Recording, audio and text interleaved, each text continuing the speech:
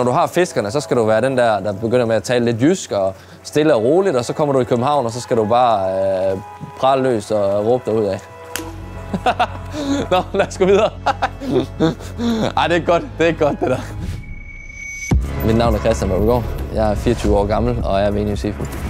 Vi står på Venue Seafood, som øh, jeg startede i øh, 2016, og her laver vi østers, hjertemuslinger, hummer, som vi sælger til restauranter, private og fiskehandlere. Velkommen til frokoststuen. Der er sket sindssygt meget på Østersfronten de sidste 2-3 år. Det er bare som om, det skal folk bare have. Altså, der er ekstremt stor efterspørgsel. Og, og det er ikke blevet sådan en ting med, at ah, vi skal bare have de 12 billigste, fordi vi skal bare skal have et billede af det til Instagram. Nu vil de også gerne have, at det smager noget. De vil gerne så mærke forskellen på det. Lidt ligesom med, med vin. De vil gerne have, at det skal være dansk, og de skal, vil gerne have, at det skal være høj kvalitet. Det vi står her og gør, det er, at vi egentlig hører efter, om, øh, om Østersen de er hule. Fordi hvis de er hule, så kan vi ikke bruge dem, så kasserer vi dem. Der er jo nok for godt og vel 50.000 i sådan en der.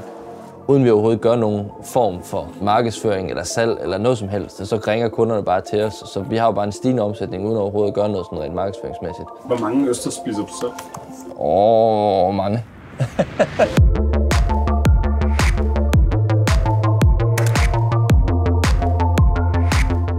startede i sommeren 2016 og købte de, de første 300 kilo østers der, og egentlig, og egentlig lige stille begyndte firmaet på den vis. Og jeg var 17, da jeg fik ideen, og 18, da jeg startede. Jeg skulle lige gøre min HTX-uddannelse færdig. Jeg kunne simpelthen ikke forstå, at vi i Danmark skulle importere alle de her franske og hollandske østers, når vi havde så fantastiske østers i Danmark. Det er skål.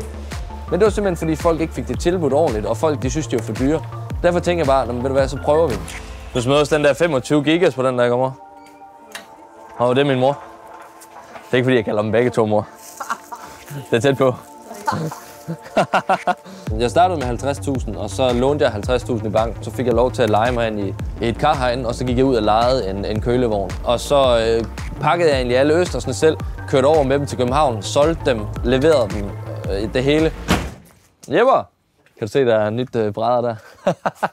Ej, det er alligevel et halvt års tid siden, der kommer jeg lige til at køre ind i væg. Ja.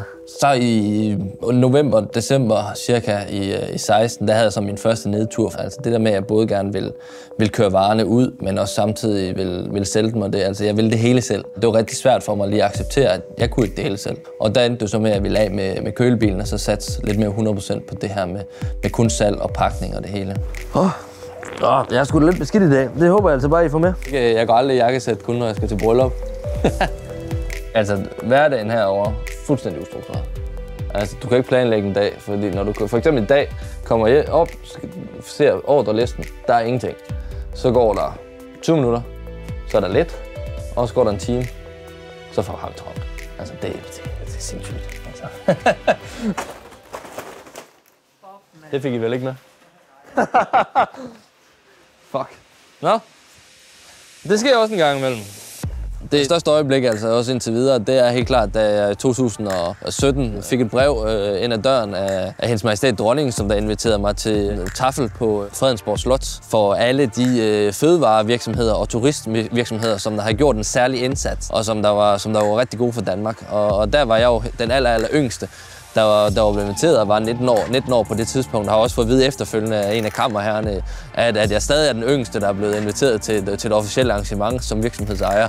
Jamen, jeg sad over for, hvad hedder det, Kronprins Frederik, og ved min højre side havde jeg Paul Pedersens cheesemejeri, og på min venstre side havde jeg indkøbsdirektøren fra, fra Irma. Så det er helt klart noget af det, som jeg synes, der var noget af det fedeste og sjoveste og, i, i en ung alder. Havde du et jakkesæt på, eller havde du den der? Jeg havde den.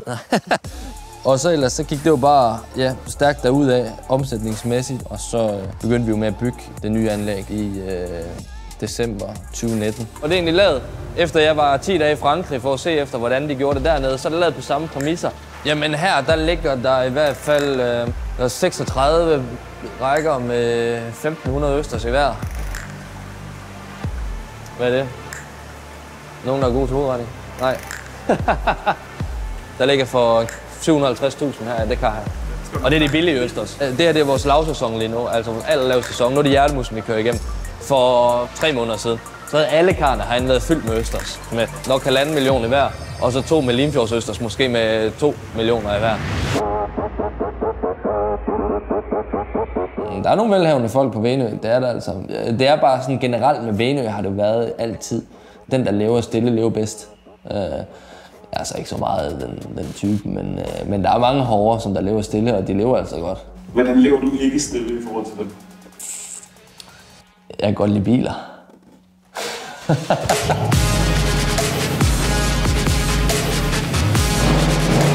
det er ikke sådan, at jeg hiver mange penge ud til mig selv hver eneste måned. Jeg har altid gerne vil beholde pengene i virksomheden, så vi ikke skal ud og låne penge. Så jeg har egentlig bare en almen 25.000 kroners øh, løn i, i måneden. Og selvfølgelig så er der en, lille bonus, hvis det er sådan, det går godt. Det er lidt noget andet. Og, og, og ikke nogen, hvis det er sådan, det ikke går særlig godt. Yes, det er det der letballe. Det er her, vi har Sasseline til at stå, som der er vores øh, seksårige hoppe. Der har vi en her, jo. Jamen, det er, jo, det er jo helt klart Signe, der har inspireret mig til at blive en del af, af heste, hesteverdenen. Signe har gjort i, i heste i mange år, og er jo også øh, er jo min bedre halvdel, og deler mit liv sammen med. Så, øh, så vi, øh, vi hygger os lidt med, med den her hestebranche her også. Altså, det går rigtig meget op i investeringer, men verdens dårligste investering, det er biler, og det er heste. Og så ramte vi jo så øh, marts øh, 2020, hvor vi var smidt en masse millioner i et nyt byggeri og har købt et anlæg. Så rammer vores kære corona jo lige pludselig. Og det er ingen hemmelighed, altså marts måned 2020, der omsatte vi for 25.000 kroner. Anlægget derovre i sig selv, det koster 100.000 kroner i måneden bare for at holde i gang. Hvis man skal være selvstændig, så skal man ikke være bange for at tabe penge. Man skal ikke være bange for at tabe penge, og man skal ikke være bange for at tabe tid, og man skal ikke være bange for at tabe venskaber og familie. Du kan simpelthen ikke have tid til det hele. Hvis det ikke går, går godt, jamen, så taber du penge. Og hvis det er sådan, det går godt, og du får rigtig travlt, jamen, så taber du tid. Og når du taber tid, så taber du også meget gange øh, en del omgangskreds.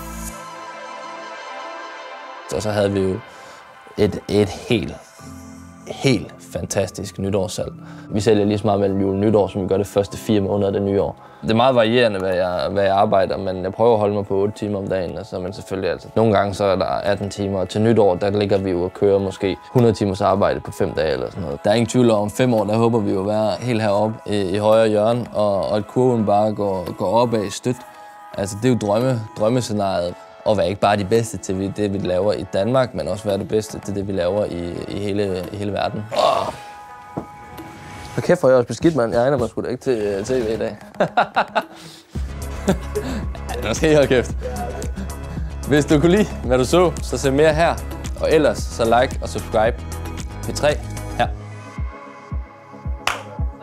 Så er jeg out.